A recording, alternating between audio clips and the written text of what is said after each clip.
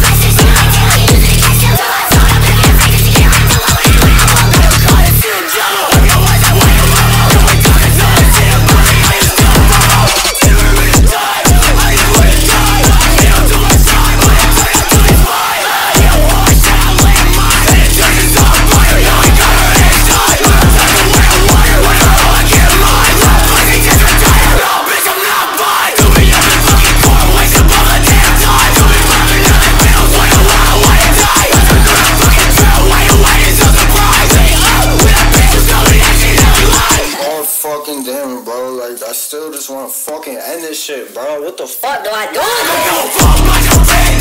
do?